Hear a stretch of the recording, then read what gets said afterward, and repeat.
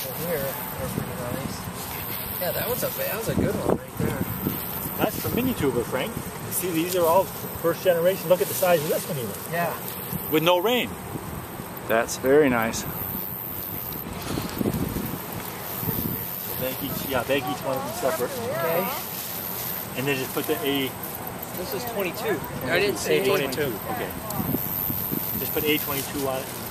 I can do the others.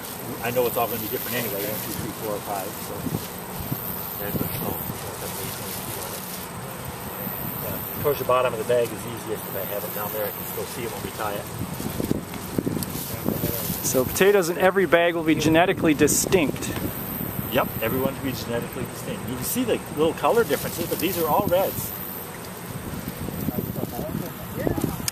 Each clone that looks promising is being bagged and stored away. Be stored away for uh, further evaluations next season.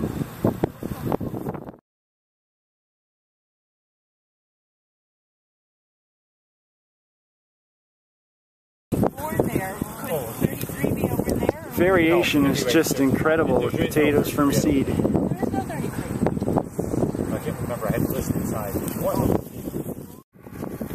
This particular clone has medium-sized, very round tubers that broke freely from the rest of the plant. Uh, the eyes are shallow, the color is very nice and red. Whole family seems to have this trait. This particular plant is pretty large and green, looks healthy. Made a lot of underground stems and then really almost no tubers to speak of. Yep. This is from plant 112. Wow. Very nice sized tubers for the, the space it's in.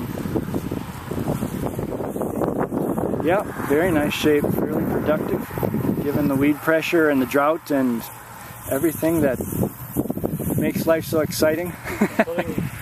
Sitting on July 4 planting day, that's pretty good. yes. So those will get a try next season. Oh yeah, that's I wonder beautiful. how fast I'll break dormancy. That's beautiful.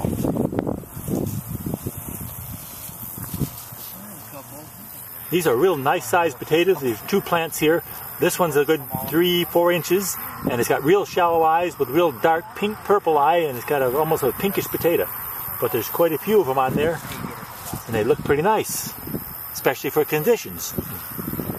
So, a couple of nice round white ones. Yeah. You've got a bunch of purple ones. Yeah. Not the best ones I've had.